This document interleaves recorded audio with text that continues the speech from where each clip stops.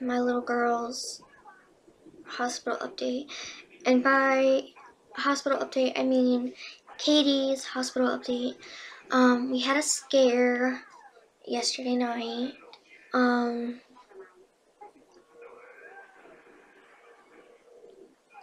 I was getting her dressed for bed. And after I got her dressed for bed, she, like, I put her down and I went to bed and, um, she was fine. And then about 2.30 a.m. this morning, I heard her crying and, um, I noticed she had blood all over her.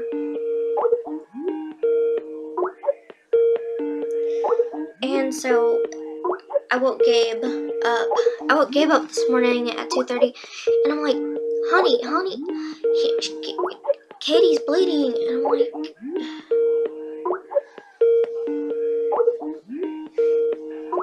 and Gabe got up and checked on her and I'm like, and,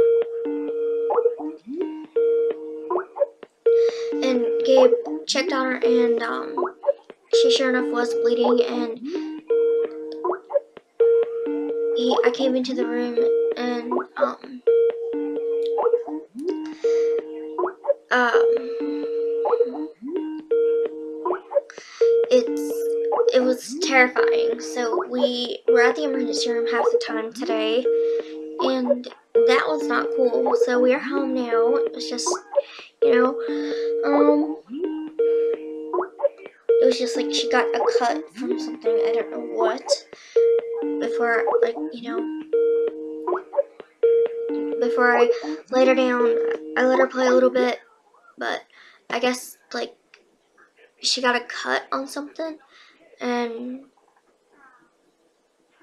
it must have opened and then she must have started bleeding from that.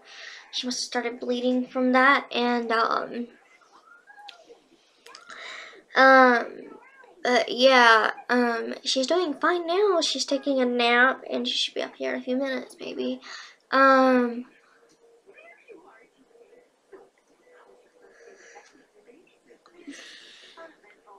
I would have updated you guys sooner, but I was at work and I was tired and I'm still tired, so I might lay down and take me nap. I don't know.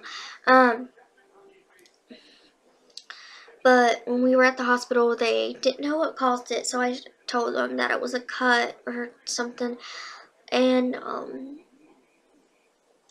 yeah, so, yep. So, Katie is doing fine now, so. I'm glad that she's doing fine.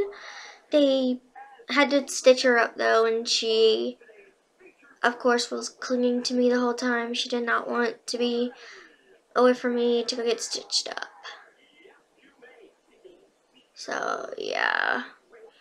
So, guys, that's today's video. I will um, make another video probably tonight or tomorrow. So, yeah. Bye, guys. Comment, subscribe, request my videos. Bye.